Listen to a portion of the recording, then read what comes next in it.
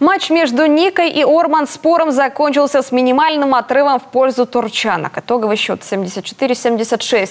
Напомним, это была первая игра наших рысей в официальном матче Еврокубка. Соперницам победа далась нелегко. Сыктывкарки давали достойный отпор гостям площадки. Игра была на высоком уровне, особенно начало игры, на высоких скоростях, э, на высоком уровне физического контакта. И э, я думаю, что нам нужно сделать шаг вперед в психологической готовности к таким матчам, э, к такому напряжению.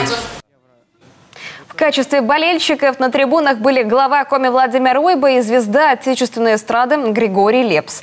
Они же вручили лучшим игрокам обеих команд награды. Приз из рук губернатора получила сыктывкарка Раиса Мусина.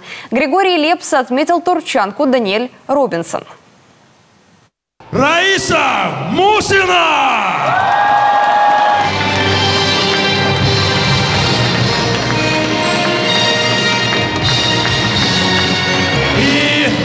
лучший игрок из команды Orman Sport.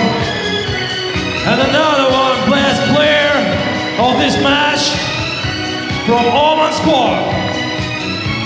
Daniel Marie Robinson! Our congrats!